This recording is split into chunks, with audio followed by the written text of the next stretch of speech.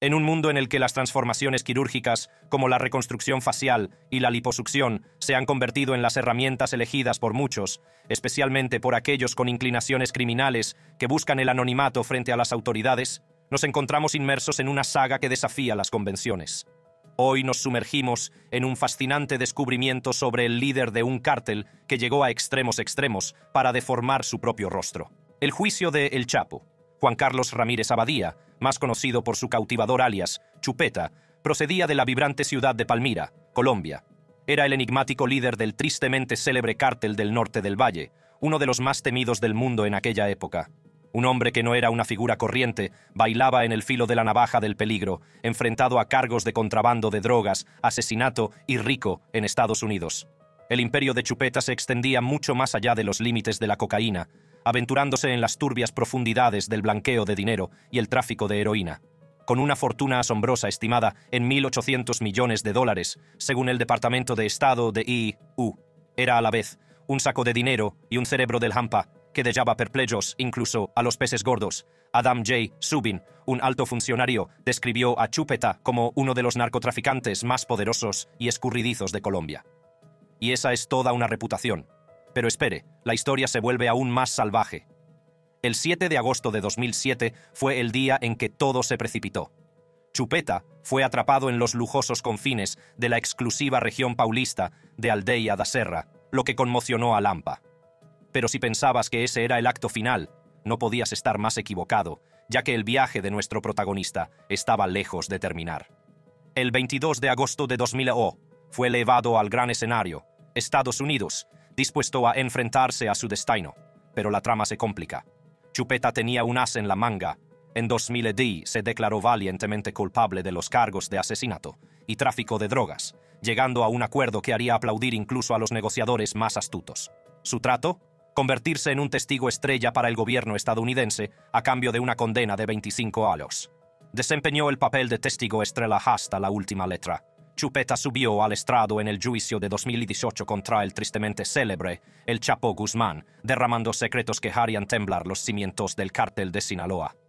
Reclamó el protagonismo como principal proveedor de cocaína del propio El Chapo Guzmán. Imagínense esto, dos de los presuntos capos de la droga más famosos del mundo juntos en una habitación. Y aquí está el giro, ningún colosal acuerdo de narcóticos sobre la mesa.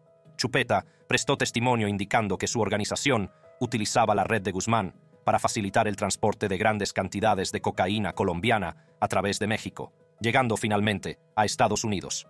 En una reunión celebrada en México a principios de la década de 1990, describió un acuerdo mutuo entre él y Guzmán. Según este acuerdo, el cártel colombiano transportaría su cocaína a México y el grupo de Guzmán se encargaría del proceso de contrabando para distribuir la droga en las principales ciudades estadounidenses. Chupeta se mostró dispuesto a satisfacer la petición de Guzmán de cocaína de la máxima calidad, ya que pretendía labrarse una reputación personal por producir drogas excepcionales. Además, reveló que Guzmán afirmaba poseer un método más eficaz para introducir cocaína en Estados Unidos, lo que le llevaba a exigir una mayor parte de los beneficios, por sus servicios. Imagínese al cártel colombiano transportando por avión su preciado cargamento de cocaína a México y al escuadrón de El Chapo ejecutando la sigilosa operación de introducirlo clandestinamente en las principales ciudades de Estados Unidos. Es una operación de alto riesgo, y aunque Chupeta no paró de desvelar los secretos del negocio de la droga, resultó más apasionante que una película de suspense. La sala del tribunal se electrizó de tensión cuando Chupeta se enfrentó a la escalofriante pregunta sobre los 150 asesinatos por encargo. Admitió, sin inmutarse su participación en varios casos escalofriantes que provocaron escalofríos. Debido a la amplia notoriedad e influencia del cártel de Sinaloa, la pregunta que se hacía la mayoría de la gente era cómo era posible que un solo hombre pudiera suministrar cocaína a un imperio tan grande como el cártel de Sinaloa. Encabezado por el Chapo, el infame cártel de Sinaloa se remontaba a finales de la década de 1980, y la Administración para el Control de Drogas de Estados Unidos, DEA, tenía sus ojos puestos en el cártel de Sinaloa desde hacía mucho tiempo, creyendo que era la mayor organización de tráfico de drogas de México. A mediados de los 90, este colosal sindicato estaba a la altura del infame cártel de Medellín, en el apogeo de su poder, y ya se sabe lo que dicen, cuanto más grande, mejor. El cártel de Sinaloa siguió creciendo, y en poco tiempo se convirtió en una de las mayores empresas criminales del mundo, con tentáculos que llegaban hasta los rincones más oscuros del planeta. Pero el tráfico de estas drogas es mucho más que eso. Túneles, sí, túneles. Desde 1990, los ingeniosos métodos de contrabando del cártel de Sinaloa se basan en sistemas de túneles secretos que discurren por debajo de la frontera entre México y Estados Unidos una forma alucinante de transportar su mercancía delante de las narices de las autoridades. El uso de los túneles era beneficioso para el comercio, y bajo las directrices del tristemente célebre Joaquín El Chapo Guzmán, el cártel de Sinaloa se ganó una gran reputación por el uso de estos túneles, y a día de hoy siguen apareciendo nuevos. Tienen predilección por California y Arizona, la DEA puede confirmarlo debido al secretismo y a la necesidad de permanecer en el anonimato, incluso mientras llevaban a cabo su empresa, estos narcotraficantes tuvieron que convertirse en maestros del disfraz. Gran parte de su marihuana se cultivaba y se sigue cultivando ilegalmente en los rincones más remotos de California, dentro de Estados Unidos, por lo que la necesidad de que fueran lo más anónimos posible era elevada, y ahí fue donde entró Chupeta. Maestro del disfraz, ayudó a que la presencia del cártel se extendiera como la pólvora, llegando al menos a 22 de los 31 estados mexicanos. Desde la bulliciosa Ciudad de México hasta la pintoresca Tepic, Toluca, Zacatecas, Guadalajara y el propio estado de Sinaloa, tienen sus raíces firmemente plantadas en casi todas las ciudades, y sus operaciones son de lo más variopintas. Desde la cocaína colombiana hasta la marihuana mexicana, la metanfetamina y el fentanilo, han metido sus dedos en todos los pasteles ilícitos imaginables. Ah, y no nos olvidemos de sus operaciones con heroína mexicana y del sudeste asiático. Desde luego, no se estaban conteniendo. No contentos con eso, intensificaron su juego, intentando traficar con drogas a través de puertos de entrada legales, cruces fronterizos. Y lo más sorprendente es que no dudan en utilizar a ciudadanos estadounidenses como mulas para transportar su preciado cargamento, escondidos en todos los recovecos de vehículos de pasajeros y remolques de tractores, algunos de estos coches trampa tienen incluso sofisticados diseños para ocultar el alijo, que solo se revela cuando se realizan funciones específicas del vehículo. El triángulo dorado de operaciones del cártel, los estados de Sinaloa, Durango y Chihuahua, es un hervidero de producción de opio y marihuana.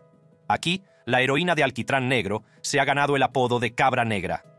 Con predilección por la cocaína y los opiáceos, construyeron todo un imperio, llevando su comercio hasta centros de distribución como Chicago a lo largo de los años, fueron responsables de la importación de casi 200 toneladas cortas de cocaína y copiosas cantidades de heroína a Estados Unidos. Y cuando la epidemia de opioides empezó a asolar el país, se subieron al carro del fentanilo, dando lugar a la epidemia de drogas más mortífera de la historia de Estados Unidos. Lo tienen todo, desde túneles hasta operaciones secretas de cultivo de marihuana en los bosques. La historia del cártel dista mucho de haber terminado, con nuevos capítulos desarrollándose incluso mientras hablamos. Y esto explica lo sorprendente que fue que Chupeta fuera el único que suministraba cocaína al mayor imperio de cocaína del mundo desde el cártel de Medellín de Escobar. Gracias a su alta posición en las filas del cártel de Cali, pudo continuar con su negocio de suministrar cocaína al infame cártel de Sinaloa, y lo que es aún más emocionante es que lo consiguió con una cara que ni siquiera era la suya. El cártel de Cali. Antes de lanzarse por la pendiente, Chupeta se embarcó en un fascinante viaje que le llevó a servir en la Marina colombiana antes de sumergirse en el vibrante mundo académico de la Universidad de Miami durante la década de 1980. Pero entonces llegó el giro que le condujo al reino del narcotráfico en 1986 bajo la bandera del Cártel de Cali, una empresa que debe su nombre a su territorio en Cali, Colombia, el mismo lugar donde Chupeta supuestamente orquestó su imperio de la droga. El cártel de Cali no se limitó a hacer sus pinitos en el mundo del narcotráfico, sino que lo revolucionó hasta convertirlo en algo más que ordinario. Su objetivo era extraordinario. Estamos hablando de convertir el tráfico y la producción de cocaína en una forma de arte, sacudiendo el juego como nunca antes. Trasladaron sus operaciones de refinado del territorio familiar de Colombia a los atrevidos paisajes de Perú y Bolivia. Pero eso es solo el principio de sus aventuras asumieron riesgos y trazaron nuevas rutas a través de las traicioneras aguas de Panamá, redefiniendo la esencia misma del contrabando. Y la cosa se volvió aún más loca, abrazaron el cambio y se diversificaron hacia el opio, añadiendo una nueva capa de complejidad a sus operaciones. El cártel estaba listo para explorar nuevos terrenos y pronto se cultivó una expansión hacia Europa. Para lograrlo, formaron una asociación única con contrabandistas de tabaco de Galicia, España, creando una alianza criminal que desafiaba la imaginación. ¿Y la pièce de résistance? Un vínculo estratégico con la formidable organización criminal de la Camorra. El cártel de Cali proporcionaba la mercancía y la Camorra se encargaba de distribuirla por toda Europa. Era una unión perfecta, una asociación que conmocionó a Lampa. A mediados de la década de 1990 circularon rumores de que Chupeta había estado orquestando el contrabando anual de cantidades alucinantes de cocaína en el corazón de San Antonio, Texas, y en las soleadas calles de Los Ángeles, California, todo ello a través de la intrincada red de rutas mexicanas. Para alimentar su gran operación, contaba con los fieles compañeros de los contenedores marítimos y las lanchas rápidas, que se abrían camino a lo largo de las encantadoras rutas de la costa del Pacífico. Un final hipnotizador aguardaba en las deslumbrantes luces de Nueva York, donde se creía que las células de distribución de Chupeta hacían suma guía. A mediados de los 90, Chupeta, maestro de su oficio, se convirtió en el capo más joven de la historia del cártel de Cali. Se especuló ampliamente con que orquestó el contrabando anual de varios miles de kilogramos de cocaína, como un reloj una hazaña asombrosa que mantuvo en vilo a las fuerzas del orden y a las autoridades. Su ingeniosa operación abarcaba desde las vibrantes calles de San Antonio, Texas, hasta los soleados bulevares de Los Ángeles, California, una ruta comercial transcontinental que dejaba boquiabierto a cualquiera. El núcleo de su estrategia residía en el arte de la distracción. Navegó por la laberíntica red de rutas a lo largo de la costa del Pacífico, utilizando las mareas cambiantes y las ensenadas secretas en su beneficio. Su operación se asemejaba a una intrincada danza, en la que cada movimiento estaba meticulosamente planeado para confundir a las fuerzas del orden y eludir las miradas indiscretas de las autoridades. En el centro de su libro de jugadas estaban las herramientas que hacían posible su supremacía, los contenedores marítimos y las lanchas rápidas. Estas embarcaciones no eran meros instrumentos, sino la columna vertebral de su empresa. Imagínense esto contenedores marítimos, esos gigantes discretos del comercio mundial, transformados en depósitos de contrabando. Se erigían como centinelas del secreto, ocultando su carga ilícita. El golpe maestro de Chupeta era su habilidad para mezclar lo criminal con lo legítimo, enhebrando su contrabando a través de las arterias del comercio. La operación de Chupeta no era una mera operación, era una sinfonía de estrategia. Su elección de conductos era tan diversa como audaz. Su dependencia de una estrategia dual implicaba una intrincada danza entre contenedores de transporte y ágiles lanchas rápidas, elementos que formaban la columna vertebral de la logística de su operación. Estas embarcaciones encarnaban la velocidad y la agilidad. Estos cohetes marítimos surcaban las aguas a toda velocidad, con un diseño optimizado para los desplazamientos rápidos. Estos contenedores inocuos ocultaban la carga ilícita, evadiendo sospechas mientras se movían dentro del flujo del comercio legítimo. La elección de rutas por parte de Chupeta fue un golpe de genio. Se desplazó cuidadosa y calculadamente a lo largo de la costa del Pacífico, lo que le permitió eludir a las autoridades y mantener su férreo control sobre el tráfico de drogas.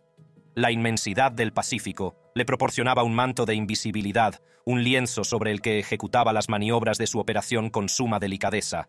Su contrabando anual de varios miles de kilogramos de cocaína a San Antonio, Texas y Los Ángeles, California, era un espectáculo cuidadosamente coreografiado que se basaba en una danza entre contenedores de transporte y ágiles lanchas rápidas. Estos elementos formaban el corazón palpitante de su operación, permitiéndole navegar con facilidad por la intrincada red de rutas de la costa del Pacífico. Hasta su detención, Chupeta ocupaba una posición destacada como uno de los formidables líderes del cártel del norte del Valle, operando principalmente en las regiones del norte del departamento colombiano del Valle del Cauca, en particular en la ciudad costera de Buenaventura, el cartel del norte del Valle alcanzó prominencia durante la década de 1990, aprovechando la oportunidad de la fragmentación de los carteles de Cali y Medellín. Este ascenso lo situó como fuerza dominante en el tráfico ilícito de drogas. Encabezado por los hermanos Luis Enrique y Javier Antonio Calle Serna, alias Los Comba, el cártel mantuvo su poder hasta 2008, cuando las autoridades colombianas, venezolanas y estadounidenses de la DEA unieron sus fuerzas para desmantelarlo. Supuestamente, la génesis del cártel del norte del Valle se remonta a un acontecimiento crucial en el que participaron los hermanos Rodríguez Orejuela, líderes del cártel de Cali. Al final fueron capturados y llegaron a un acuerdo con el gobierno colombiano por el que debían entregarse, junto con toda su organización, a la Justicia Nacional. ¿Y qué les ofreció este movimiento estratégico? Un poco de clemencia, un límite a las penas de prisión y la salvaguarda de sus cuantiosos activos. Suena como un cártel que redefine su destino, ¿verdad? Esta proclamación preparó el terreno para una reunión crucial en la que sus confidentes, subordinados leales y socios en ciernes se vieron sorprendidos por un abrupto decreto de cese de todas las operaciones ilícitas en el acto. Pero, como suele ocurrir en las historias de transformación, no todos aceptaron la repentina orden de disolución. Apareció un grupo ecléctico formado por Carlos Alberto Rentería Mantilla, Juan Carlos Ortiz Escobar, Juan Carlos Ramírez Abadía, Diego León Montoya Sánchez y Orlando Henao Montoya. Estos decididos individuos, que se negaban a doblegarse ante el destino, se unieron para dar origen nada menos que al cártel del norte del valle. Diego Montoya, según su perfil del FBI, se enfrenta a acusaciones del gobierno estadounidense de participar activamente en la producción y distribución de importantes cantidades de cocaína en Estados Unidos. Además, se sugiere que su organización se basó en gran medida en la violencia, disfrutando del cobijo de grupos armados ilegales, tanto de derechas como de izquierdas, el gobierno estadounidense designa como organizaciones terroristas. Según una acusación presentada en 2004 por el gobierno estadounidense, en virtud de la Ley de Organizaciones Corruptas e Influenciadas por el Crimen Organizado, RICO, por sus siglas en inglés, el panorama es alucinante. Entre 1990 y 2004, el cartel del norte del Valle se encargó de exportar la asombrosa cantidad de 1,2 millones de libras, sí, 500 toneladas métricas, de cocaína. Este enorme botín, valorado en la asombrosa cifra de 10.000 millones de dólares, emprendió un tumultuoso viaje de Colombia a México y finalmente llegó a Estados Unidos, listo para el bullicioso mercado de la reventa.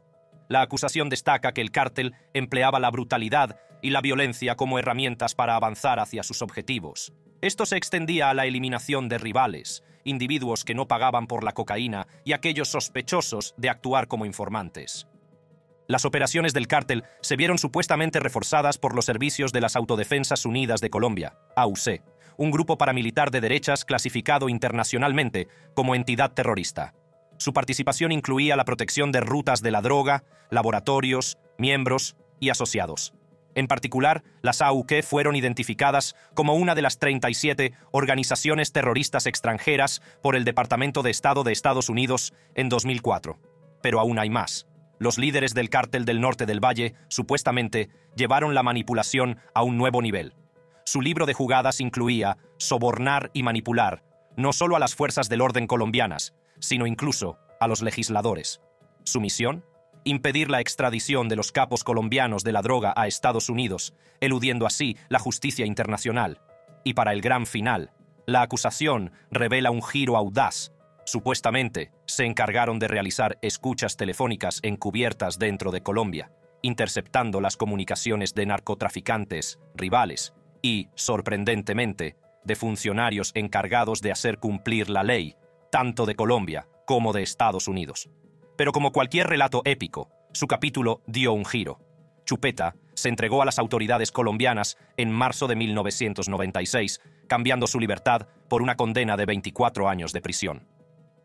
Los rumores sugieren que lo hizo por miedo a su propia seguridad y como una astuta estrategia para conseguir una sentencia más indulgente. Sin embargo, la saga no terminó entre los muros de la prisión.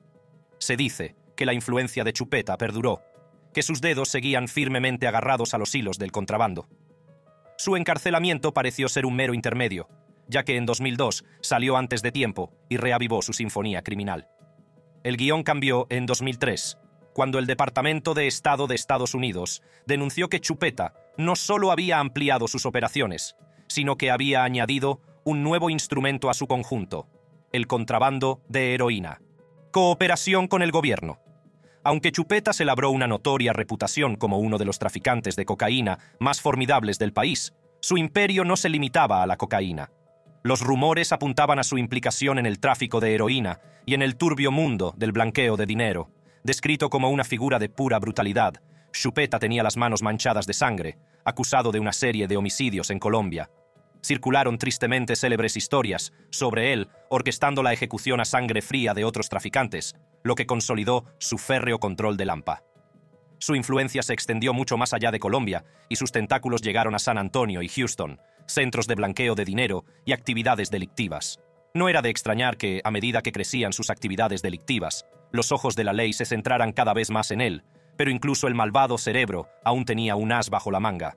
Chupeta emprendió un intrincado viaje durante la década de 1990 en Brasil, desmontando meticulosamente su rastro biométrico y borrando toda información sobre él de los registros oficiales. Con astuta precisión, utilizó su riqueza para persuadir a los funcionarios de que borraran sus huellas dactilares, imágenes y registros personales de los anales de la documentación oficial. Fue un acto de borrado premeditado, meticulosamente diseñado para protegerse de las miradas indiscretas de las fuerzas del orden. Pero la búsqueda del anonimato de Chupeta no se detuvo ahí. Con la precisión de un artista, transformó ingeniosamente su propio rostro. En sus propias palabras, recuerda cómo se hizo metódicamente cambios en la cara, una extensa alteración que abarcó remodelar su mandíbula, esculpir sus pómulos, redefinir el contorno de sus ojos, boca y orejas, e incluso reconfigurar sutilmente su nariz. Esta audaz metamorfosis constituyó la espina dorsal de su audaz intento de eludir la mirada vigilante de las fuerzas del orden. Sus aventuras más allá de los confines de su recinto se convirtieron en un ballet nocturno, envuelto en el secreto y en la oscuridad. Limitado a las horas nocturnas, se aventuraba con cautela a dar paseos encubiertos en bicicleta y a acudir a citas quirúrgicas ocultas, reforzando aún más su velo de anonimato con una serie de ingeniosos disfraces. El arte de sus mejoras quirúrgicas era tal que incluso los investigadores más experimentados de las agencias federales estadounidenses se veían superados. Tan eficaces fueron sus modificaciones físicas que los motivos tradicionales para una orden judicial, basados en el reconocimiento visual, resultaron ineficaces. Sin embargo, como a menudo dicta la historia, incluso la fachada más intrincada puede desmoronarse. En un giro irónico, las extensas alteraciones de Chupeta no pudieron acallar los ecos de su propia voz. El reconocimiento de voz se convirtió en la grieta en su inexpugnable armadura, desencadenando una cadena de acontecimientos que condujeron a una búsqueda crucial que culminó con su esperada captura. Y pronto, las armas de la ley alcanzaron a Chupeta. El Distrito de Colorado y el Distrito Este de Nueva York fueron actores clave en su detención y acusación, y ambos solicitaron justicia contra él a mediados de la década de 1990. Su reino del terror se interrumpió bruscamente en Brasil, en 2007, cuando fue detenido por la Policía Federal brasileña. Lo que siguió fue una revelación que conmocionó a todo el mundo del crimen. Chupeta decidió cooperar con las fuerzas del orden. Entre rejas, reveló libros de contabilidad, alijos de dinero procedente de la droga y propiedades ocultas. En un giro inesperado, su testimonio se convirtió en una poderosa herramienta para los fiscales. Proporcionó información clave que condujo a la inculpación de figuras notorias, como Jesús Zambada García, Héctor Beltrán Leiva y el tristemente célebre El Chapo Guzmán.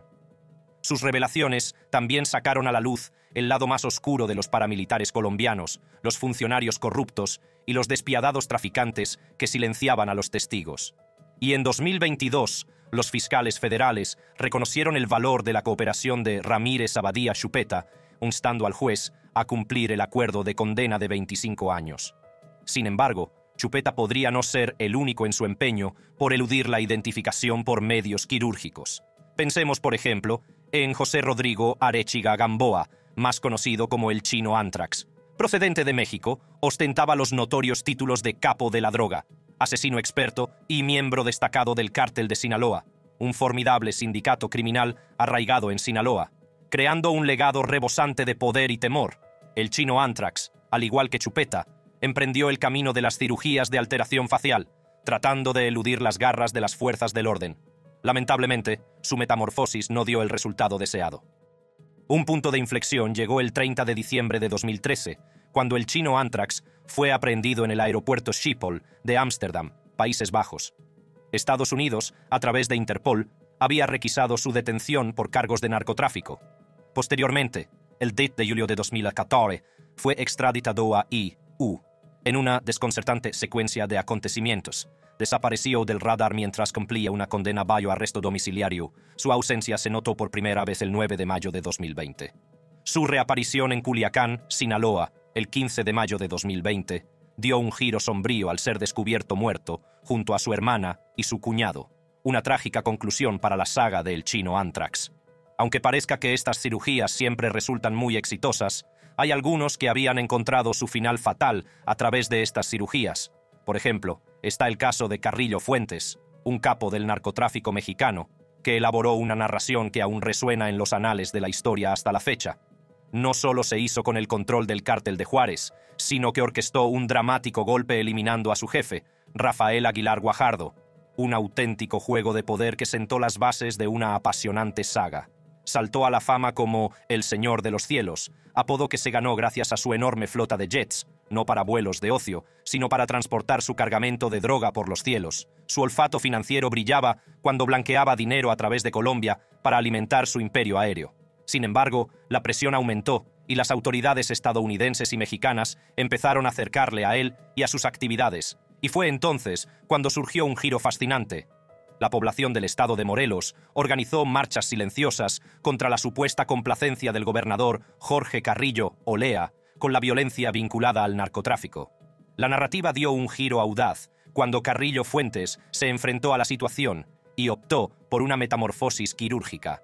Con delicadeza quirúrgica, se sometió a una reconstrucción facial y a una liposucción abdominal el 4 de julio de 1997, con el objetivo de desvanecerse en el aire. Pero el destino tenía su propio guion. En medio de la operación, Carrillo Fuentes tuvo un fallecimiento imprevisto, atribuido a complicaciones de la medicación o al mal funcionamiento de un respirador. El cártel de Sinaloa se vio en un aprieto aún mayor cuando más figuras clave empezaron a cooperar con el gobierno. Estos informadores caminaban por la cuerda floja entre el riesgo de sufrir graves repercusiones y la posibilidad de obtener un trato preferente en las penas de prisión. En un giro del destino, el antiguo director de transporte del cártel de Sinaloa se había convertido en informante del gobierno nada menos que contra el propio Joaquín, el Chapo Guzmán. Sorprendentemente, este movimiento le ayudó a escapar de las fauces de una posible cadena perpetua, colgando una condena de solo un año de prisión por su papel en el tráfico de cocaína. Este sorprendente giro de los acontecimientos fue orquestado por el juez federal de Brooklyn Brian Cogan, quien elogió al informante por su audaz acto de proporcionar información crucial sobre uno de los cárteles de la droga más feroces del mundo. El pronunciamiento del juez Cogan supuso un importante reconocimiento de las contribuciones del informador y de los audaces riesgos que asumió. Además, el juez reconoció que la influyente posición del informante dentro del cártel amplificaba considerablemente la importancia de la información que proporcionaba. Tirso Martínez Sánchez, anteriormente conocido como el Train Daddy del cártel de Sinaloa, vio reducida su condena a solo nueve años, seis más por el tiempo que pasó tanto en prisiones estadounidenses como mexicanas. Sorprendentemente, la oficina de prisiones de EE.UU estaba contemplando la posibilidad de añadir otros dos años de crédito por el tiempo que Martínez pasó bajo custodia mexicana, reduciendo potencialmente su condena restante a un solo año. Para aumentar la intriga, el juez Kogan autorizó a los fiscales federales a embargar bienes de Martínez por un total de dos millones de dólares, lo que subraya lo que está en juego. El anuncio de la sentencia se produjo tras una emotiva declaración de Martínez, transmitida a través de un traductor de español. Sus palabras destilaban auténtico remordimiento y subrayaban su transformación a lo largo de los años. Detalló su salida de la vida criminal tras ser padre en 2003, un momento que le hizo reconsiderar sus decisiones. Entre 2000 y 2003, Martínez, conocido cariñosamente como el futbolista por su pasión por el fútbol, dirigió las operaciones de transporte del cártel de Sinaloa. Este papel le permitió orquestar el movimiento de cocaína entre México y el bullicioso corazón de Nueva York, cosechando sustanciosas recompensas económicas. Durante el proceso judicial, reveló el ingenioso uso que hacía el cártel de los trenes y el aceite de cocina para camuflar sus enormes cargamentos de cocaína. Joaquín el Chapo. Guzmán, el infame líder del cártel, compartía una peculiar afición por los trenes e incluso tenía un zoo privado con una locomotora en miniatura. Finalmente, fue condenado a cadena perpetua más 30 años. Martínez afirmaba haber amasado entre 15 y 20 millones de dólares durante su permanencia en el cártel. Sin embargo, el nacimiento de su hija en 2003 supuso un punto de inflexión, ya que cada vez estaba más desencantado con las salvajes operaciones del cartel. Su abogado, Peter Quillano, arrolló luz sobre la victoriosa batalla de Martínez contra una grave adicción a la cocaína en 2008, junto con su deliberado distanciamiento de las garras del cártel. En particular, su afición a las peleas de gallos siguió siendo su único capricho, un detalle que suscitó un animado intercambio entre su abogado y el juez Kogan. A pesar de su transformación, Martínez se enfrentaba a cargos de importación y distribución que, según las directrices federales, podrían haberse traducido en una cadena perpetua. En 2014, fue extraditado a Brooklyn para enfrentarse a esos cargos. En otro caso sorprendente, Santiago Meza López, conocido como El Pozolero, un temible ejecutor del cártel, iba a salir de prisión. López había confesado haber ayudado al cártel de Sinaloa a eliminar decenas de cadáveres disolviéndolos en cubas de ácido. Capturado en 2009, López afirmó haber sido coaccionado por los líderes del cártel para desempeñar este papel, lo que añadió otro nivel de intriga a esta escalofriante historia. En el sombrío reino de los cárteles, el impactante acto de alteración facial autoinfligido por Chupeta se erige como un inquietante símbolo de poder y paranoia, que sirva como escalofriante recordatorio de que, en la búsqueda del dominio, hasta el propio reflejo puede convertirse en un lienzo de miedo. El rostro que deformó refleja las distorsionadas profundidades a las que puede caer un líder desesperado, grabando un cuento con moraleja imposible de olvidar. Para ver más vídeos como este, en los que exploramos el crimen y las actividades delictivas de estas mentes malignas, haz clic en los vídeos de tu pantalla. Permanezca atento y hasta pronto.